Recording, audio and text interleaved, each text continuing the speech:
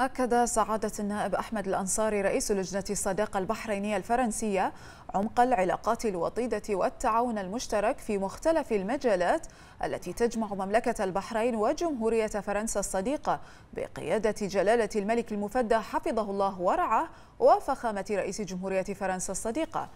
وفي ظل التعاون الفاعل بين حكومتي وشعبي البلدين الصديقين. وأشاد الأنصاري بالعلاقات البحرينية الفرنسية التي تستند على أسس راسخة من العمل المشترك والسعي لتعزيزها نحو آفاق أرحب.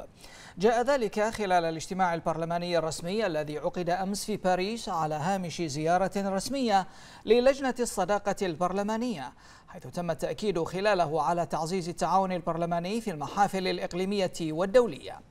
من جانبها أعربت سعادة النائب بياتريس بيرو رئيسة لجنة الصداقة البرلمانية البحرينية الفرنسية بالمجلس الوطني الفرنسي أشادت بعمق العلاقات الوثيقة والتعاون المتميز بين الجانبين مشيرة أن العلاقات المشتركة تعد نموذجا مميزا في العلاقات الثنائية. وأشادت بما حققته مملكة البحرين من مسيرة تنموية شاملة في ظل القيادة الحكيمة لجلالة الملك المفدى حفظه الله ورعاه.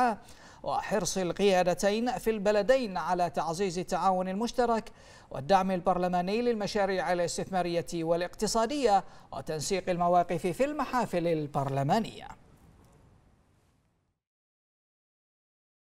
كنا اليوم في اجتماع مشترك مع لجنة الصداقة الفرنسية البحرينية في المجلس الوطني الفرنسي.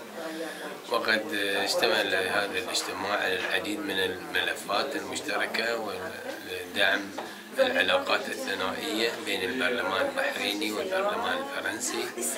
وقد شارك آه، جميع النواب بمقترحات ومواضيع هامة تهم الجميع وتهم الطرفين.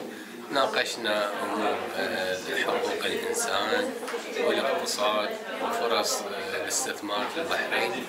وكان هناك لقاء مع وفد من النواب في جلسة مجلس النواب اليوم.